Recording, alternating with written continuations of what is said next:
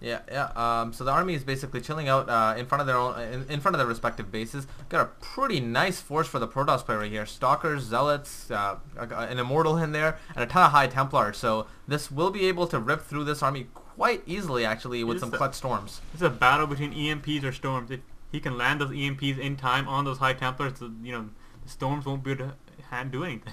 No, not They're gone. All. They're gone. And there has been a Wow. Storm drop. Storm drop or, or so actually a proxy pylon. proxy pylons. There are a few scattered around the map right now, but he hasn't been to catch any of them. The army is trying to return and try to catch. He does stem up for these few zealots. Wow. Wow. Stem a little bit wasted right there. Those zealots did die. This pylon is going to die, and that High Templar survives with his life and trying to desperately gain some energy so we can do some kind of attack. The SCVs are on the attack, taking revenge for the brethren that have fallen. The High Templar does have one kill, so you know, those SCVs are pissed right now. that one kill is just devastating right and there. And there's a drop in the Protoss player's base Whoa. right now. The Marauders finally do drop from the top as the Stalkers move down, but there are cannons placed in defense for these inevitable drops that he's expected to come. Yeah, and actually the, there is no medvacs here to uh, to uh, get these uh, Marauders out of here. So basically, right now it's these Marauders versus these Cannons and these Zealots and this High Templar. And another push out from the Pro, uh, from the Terran player. Uh, Protoss player is moving out himself, so there is going to be an epic High clash here. a little bit out of position, but he does get some nice feedbacks on those medvacs. Keeping medvac energy low is very important in this matchup. Yeah. Allowing, his taking away the healing potential of those medvacs is, is beautiful. Yeah, um, does a, does a small storm on these Marauders, uh, and Ghost comes into the EMP right in the middle of the entire ball, but he doesn't really seem to want to push in until he EMPs those High Templars. Yeah, those uh, High Templar wants their EMP to be basically become useless. And does he get it off? No. Yeah, he got one off. He got, one off. got one off a little bit earlier, but those High Templars do have almost full HP or three quarters of their HP.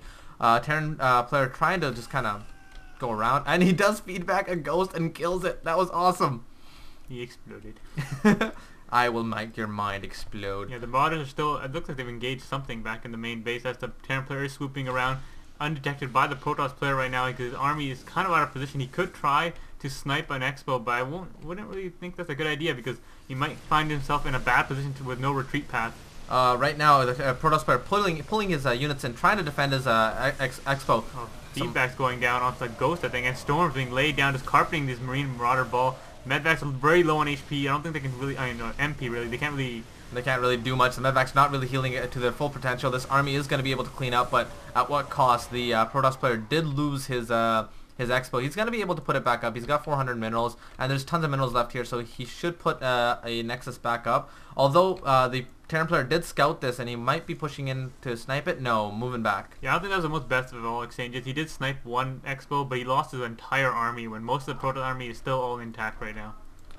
Yeah, yeah. All right. So uh, the observer is following this uh, ball around, just kind of keeping tabs on it. Uh, Protoss player is pushing out again with his uh, stalkers and his uh, sentries and his whole army, really. Yeah, it's always good to poke. When you destroy an entire army of your opponent, it's good to poke in to see what he's got. Another EMP is landed on the Stalkers. Stalkers kind of out of position, not protected by the Colossus, and do get sniped down by a few Marauders, and looks like he will pull away after He's just taking a few stalker losses. Yeah, it took a quite a hefty loss on his unit count right there, and he's gonna move back and kind of rebuild his uh, rebuild his army and maybe try and push out again.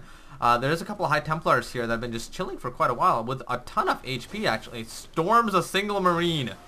Yeah, double storms him. Yeah, double storms. Laying down authority. that was that was overkill if you ask me. But uh, these uh, Templars just hiding here would be able to basically walk down here and storm uh, storm this Expo's uh, SCVs if they do decide to. But, but there's a couple Marauders and a Marine yeah, coming in. There are in. a few proxy pylons being laid around. There's a lot of weird yellow dots right there. A probe still undetected right now. Just running around, putting out the proxy pylons. Pylons everywhere. There's like an observer here. Never mind, that's not a proxy pylon. Um, not much going on. Uh, not much going around uh, on the map other than just some pylons dying and uh, some random High Templars hanging out. Um, again, Terran player um, with his Marine Marauder ball with a couple ghosts in there pushing out again. No uh, medvac surprisingly. I guess he just gave up on the idea. He's like, ah, he's just gonna feedback them anyway. But two medvacs do come in to join the army. Two medvacs, a giant ball of Marauders, and a few ghosts and Marines mixed in there. Colossus do look like they're gonna engage. You need some force fields to delay that army because he's kind of out of position right now clutch uh, feedbacks yeah. on the on, I don't know how he's catching I know. That's, what I'm gonna say. It's just amazing, and he catches them and he kills them so nice. Wow, EMPing the High Templars as they're warping in. Doesn't let them finish warping in. He's EMP the right That was a nice EMP. Got most of those High Templars. No, he actually didn't. Oh, that High Templar was didn't even get to throw a storm down right now. Uh, these stemmed Marines and Marauders are going to come in here and do massive damage. Storm being laid down on the ball. No one's running out of the storm. Full 80 damage being absorbed by the Marauders. The Marauders are quite beefy and can take a few storms before they go down, but it does look like this attack has been defended. And so a nice back and forth right now. And Zealots still without their legs. They can't really charge in. The Zealot charge is on its way right now. And same with ship level 1 and two Void Rays in production right now. So it does look like he noticed that there aren't that many Marines in the in the production tab. So or any Vikings in the air for that matter, actually. Well, there are a few Vikings in the air. Was there? I haven't seen any. Yeah, top, I'm top blind. expansion on the Planetary Fortress. Okay, but they haven't done anything. They haven't even touched any of these Colossi, actually. Uh, an Archon now morphed in, and it's just going to chill more than anything right now. Um, these Marines and Marauders have been just chilling out, warping around, just looking for stuff. Yeah, uh, looks like a proxy pylon. Three Zealot high, uh, Stalker coming in. No High Templar just stormed that fourth base of his. I don't think you can see outside of this Well, uh, not much. He knows fourth- it's there, yeah. Fourth base. Fourth base. He knows it's there. That's about it. Uh, this expo hasn't been attacked or touched at all. Where are we going? No. Okay. Okay. I meant the fourth base. This one? That's the fourth. Okay. He could have done that, but there was this one. That's fine. Whatever. It's been a while since I've casted, guys. I'm sorry. Um. all right. Uh, big ball coming here to defend against this. Uh, Planetary Fortress will be able to defend it quite easily, I would think. Yeah, Planetary Fortress are beastly. There goes the Storm, catching a few of the SCVs. Kills off about four or five, I think, in there. Maybe three. Yeah. Was it worth it? Maybe, especially this late into the game. And just and as I this will be worth it. Here's a drop. No cannons really in position. Wow, Storm for some from somewhere. I don't know where these High Templars are coming from. They're just feedbacking and storming from everywhere. Zealots being morphed in with their legs now, being able to push this army, But probably there's try to so down the Nexus, many load up and run like hell. There doesn't look like there's much anti-air in the in the zone right now. Feedback on one medvac, other medvacs no energy to really feedback on, so they can't really die. And eight marauders, well, six marauders leave with their lives. Four of them died. It was kind of sad. Uh, these Marine Marauders are gonna take out take away this proxy pylon. Finally, there's so many proxy pylons all over the map. It's it's ridiculous. Yeah, that pro's been sneaking around everywhere, just you know, hugging the walls, putting down those proxy pylons, and just warping in random zealots and uh, high temps and stalkers, keeping the Terran player on his toes. yeah. Terran players can drop constantly, but Protoss players can warp wherever they got a pylon. Yeah, they just gotta throw that pylon up and down without them knowing. Uh, the forces for the Terran player are growing quite substantially. There's a, a lot more Marauders now, and the Marauders do uh, do well against both uh, Colossi it and like the Storm. Ace in the hole. The Void Rays are on their way right now. He hasn't revealed his Void Ray tech until now. The Void Rays are up on their way to the fifth base. As the Marauder ball is heading towards the gold expansion right now, Void Rays going to charge up off this command center and probably head over to the next base.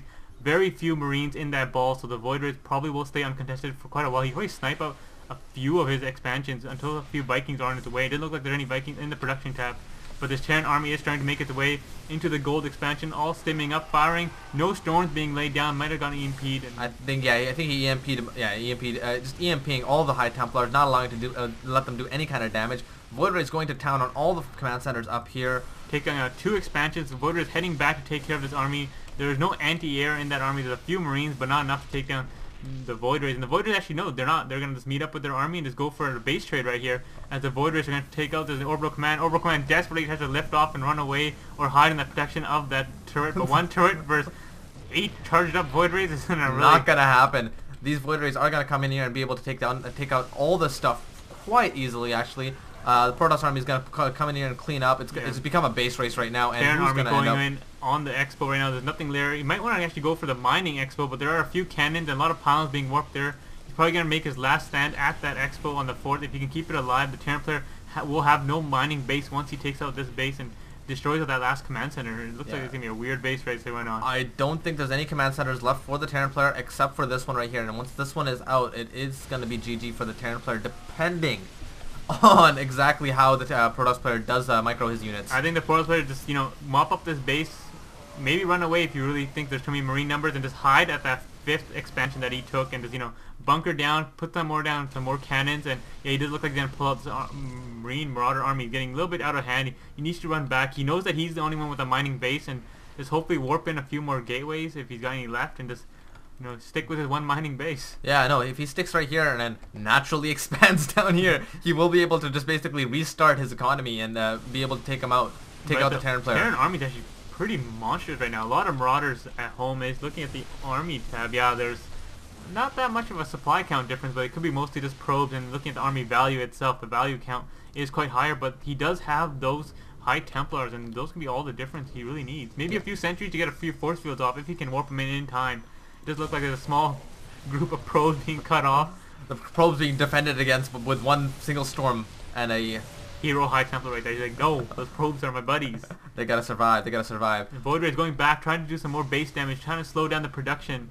But there is that command center that he left behind being transferred over to that one at base, and there are a few SCVs ready to start mining. Oh god, there's a full a full-on assault from the Terran player right now versus not much back here. One Colossus, a couple of High Templar. And Warp and- Gate's coming in right now. They, I don't know if he has a Cybernetics core up in time. Can he warp in anything besides Zealots right now? We have to wait and see. Does look Wait like he will it. push in right now and it might be out of time. He needs to storm that ramp and make sure nothing gets up. One storm being One- laid down right now. No units being warped in right now.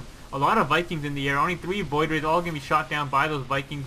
Void is trying to run away into the defense of their cannon. Does look like he will lose this game. There are way too many Marines and Marauders. Tons of medevacs healing up and keeping everything alive. And uh, charging up on his own gateway. Yeah, this is basically a slaughter fest right here. Terran players got this right here. And uh, this is the last base for the Protoss player. And uh, Actually, he's killed a lot of anti-air. If you get rid of the last few Marines, it could be an interesting exchange right here. what's going on? I don't Zealots being warped in. He needs to kill off these Marauders before they destroy all his buildings. And I don't know if he's got any buildings hidden around the map at all. He will be revealed to him in a few seconds. Another base coming up for Hasu. Wow, the Void Ray is powered No up. way. Kill off the Vikings running into the main base. Wow, this That's just ridiculous. I would not have called that. The Protoss player just clutch with these Vikings. I mean, the Void Vikings. God damn it! Uh, clutch with these Void Rays. Take out that army. Take out all the Marines. Nothing can shoot at the Yeah, Void Rays a anymore, and that's it. Oh, he does GG out. Realize that he can't just produce enough Marines to take this out. So this was a best of three, I think, and we do have another game coming up between Hasu versus Cloud, and this was an epic one. That was pretty interesting. Um, I feel like I was uh, casting this as uh, Bob, that painter guy, a little bit, a little bit calm and relaxed. You know, not getting too excited. But uh, yeah, pretty interesting game. We'll move on to the next game very, very soon.